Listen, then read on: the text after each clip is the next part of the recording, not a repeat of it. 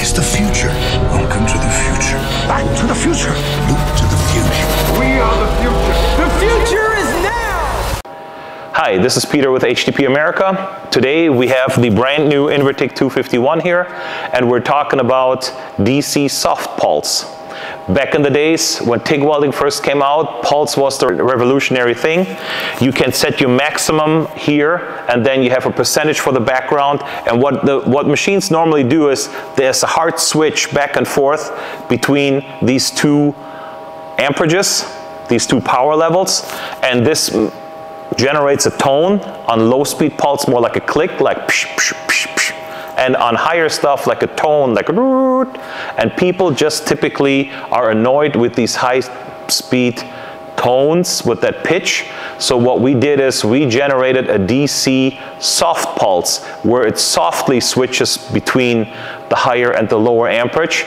And you can see on slow, on slow pulse in the arc shot how it's a soft transition and if you have a higher speed pulse, then it's an absolutely quiet proposal there. You don't have this annoying tone that you have to listen to. So let's dive into this, set this machine to DC, and I'll show you how to set up the DC soft pulse. First of all, we're gonna go to mode, 2T pedal, DC, and here you can see we have a pulse feature and a soft pulse feature. What the soft pulse does is it is quiet. The regular pulse has a sharp clicking back and forth between two power levels. And if you do this faster than just a few pulses per second, you will hear a tone.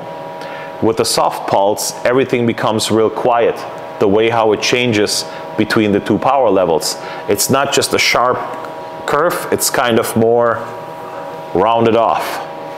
So you pick your soft pulse, high frequency, and here you go. You don't have to do anything else. If you want to pick your pulse parameters, you go to the sequencer, go to pulse. Here are your pulses per second, your slow pulse, and then um, you're gonna get some flickering in your eyes um, right before you hit about 25 or 30.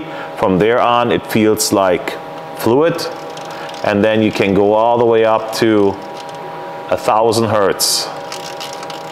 So you can pick your you can pick your pulse frequency here.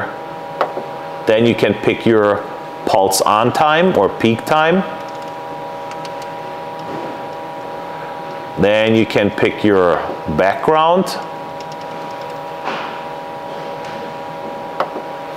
And press the home button, you're ready to weld.